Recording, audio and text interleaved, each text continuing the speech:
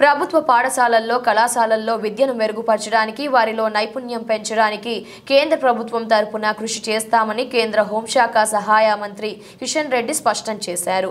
సికింద్రాబాద్లోని సీతాఫల్ మండ్లోని ప్రభుత్వ పాఠశాలల్లో విద్యార్థులకు నోట్బుక్స్ పంపిణీ చేశారు. ఈ సందర్భంగా ఆయన మాట్లాడుతూ ప్రభుత్వ విద్యా సంస్థల పనితీరు నిరాశజనకంగా ఉందని అన్నారు. ప్రభుత్వ పాఠశాలల్లో కళాశాలల్లో విద్యా వ్యవస్థను ప్రక్షాళన చేసేందుకు చర్యలు తీసుకుంటున్నామని అన్నారు. ప్రభుత్వ విద్యా సంస్థల్లో భవనాలు పూర్తిగా శిథిలావస్థలో ఉన్నాయని వాటి స్థానంలో నూతన భవనాలు నిర్మించేందుకు పాటుపడతానని అన్నారు.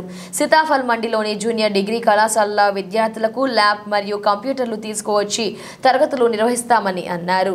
ఈ విషయంపై తెలంగాణ ముఖ్యమంత్రి కేసీఆర్తో మాట్లాడి ప్రభుత్వ విద్యా సంస్థలను మెరుగుపరిచేందుకు తన వంతు కృషి చేస్తానని తెలిపారు. అదనపు తరగతులతో పాటు అధ్యాపకులు సమస్య ఉన్న చోట కూడా దృష్టి సారిస్తామని వాటిపై చర్చించి సత్వరమే చర్యలు చేపడతామని తెలిపారు.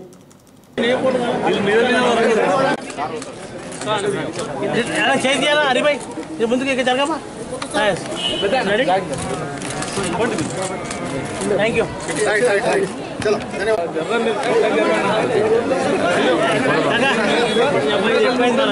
తీయాలా కదా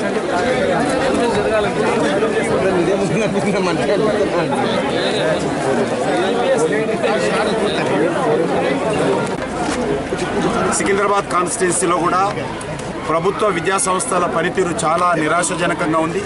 భవనాలు పూర్తిగా ఈరోజు శిథిలావస్థలో ఉన్నాయి.